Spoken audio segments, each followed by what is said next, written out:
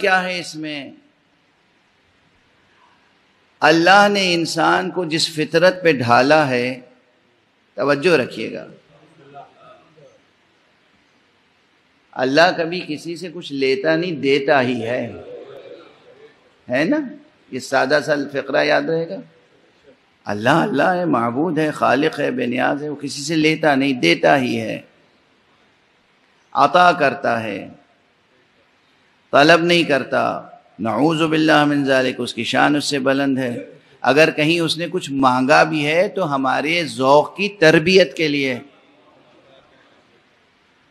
جیسے آپ بچوں کی اگر اچھی تربیت کرنا چاہیں تو انہیں کچھ عطا کرتے ہیں اور پھر انہی سے مانگتے ہیں۔ آپ شیرینی لائے، مٹھائی لائے، چاکلیٹس لائے، کچھ لائے، آپ نے بچوں کو پھل لائے، بچوں کے سامنے رکھ دیا۔ اب دیکھا دو بچے آپس میں لڑ رہے ہیں، سب چاہتے ہیں ہم لے لیں۔ تو ان کی تربیت کے لیے آپ کہتے ہیں انہیں دو، لاؤ مجھے دو۔ ماں باپ منہ کھول کے بچوں کی طرح بچوں کے سامنے بچوں سے مانگتے ہیں کہ لاؤ ہمیں کھلاؤ۔ یہ طریقہ تربیت کا ہوتا ہے۔ ہر گھر میں ہوتا ہے، غیر شعوری طور پہ بھی ہوتا ہے۔ فطرت بتاتی ہے ماں باپ کو کہ اس بچے کو کھانا تو سیکھنے کی مشکل نہیں، کھلانا، یہ مشکل ہے، تم سکھاؤ کہ کیسے کھلایا جائے، کیسے؟ ہاں؟ تربیتی نکات ہے یہ ہاں؟ کہ ماں باپ جو ہیں وہ بچے کے سامنے بچہ بن کے بیٹھ جاتے ہیں کہ ہمیں کھلاؤ، ٹھیک ہے نا؟ اچھا۔ اللہ سبحانہ و تعالیٰ نے یہ فطرت ڈھالی ہے۔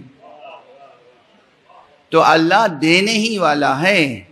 لیکن پھر بھی وہ کبھی کہتا ہے کہ لاؤ ہمیں بھی تو قرض دو۔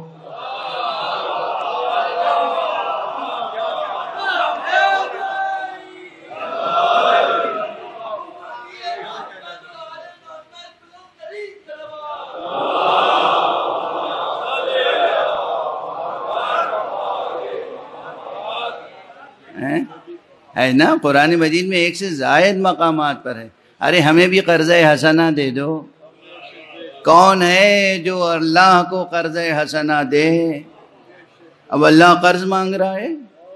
یہ ویسے ہی ہے کہ جیسے ماں باپ بچے کے سامنے منہ کھول کے بیٹھ جائیں اور آ آ کریں کہ بھائی ہمیں بھی کھلا دو۔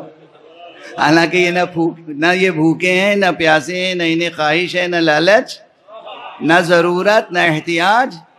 بچے کی تربیت کے لیے، اس کی نفسیات میں یہ بات پیدا کرنے کے لیے، اسے یہ عادت ڈالنے کے لیے کہ ہمیں دینا چاہیے۔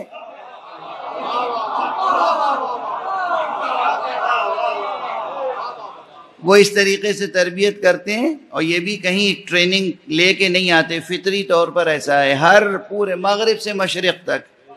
گوری نسل ہو، کالی نسل ہو، زرد نسل ہو، سب میں یہ عادتیں مشترک ہیں۔ کیونکہ فطرت کا تقاضا ہے۔ ٹھیک ہے نا؟